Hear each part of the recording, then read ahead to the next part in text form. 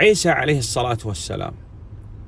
So Jesus alayhi salam, ينزل في آخر هذه الدنيا he will come down, descend in the end of this body life, نعم لا يرضى إلا بشريعة محمد عليه الصلاة والسلام and he will not be pleased with except with the the, the law and legislation of Muhammad sallallahu alaihi ولا wasallam, يرضى إلا بالإسلام and he will not be pleased with other than Islam. يكسر الصليب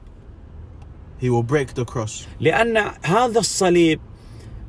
هو هي الآلة التي يعتقد بعض الناس أن عيسى وهم في اعتقادهم أنه هو الرب صلب على هذه الآلة فالأصل أن نكسر الصليب هذا لا نفتخر به So the